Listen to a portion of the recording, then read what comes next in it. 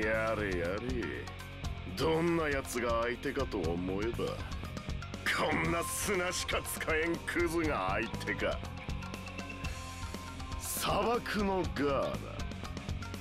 大層な通り名がついてはいるが噂の絶対防御とやらも果たしてどんなものか。まあどうであれ。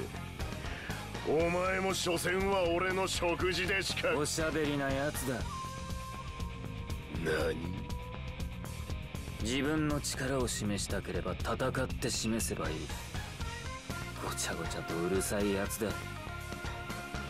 カスが生けがりやがって。思い知らせてやるぞ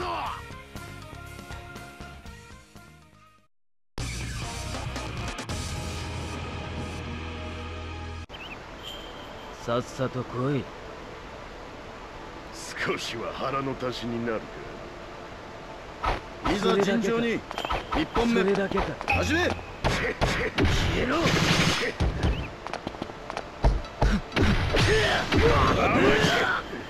んと。終わりだ。砂漠級砂漠競勝負あり。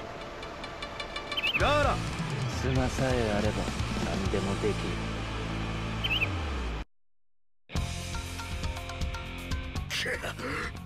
なんだと。俺の術が通用しない。俺にとって土を砂に変えることなど造作もない。なるほど。それで俺の術が効果なかったわけか砂漠のガーラという通り名は伊達ではないよう分かったのならオロチマルについてさっさと教えてもらおうか。だ残念だったな。時間切れだ。俺たちは木の葉に向かう時間なのでな。木の葉だと？お前はいずれ俺の食事となってもらうそれまでせいぜいチャクラを溜め込んでおくんだな。この俺から逃げられると思うなよ。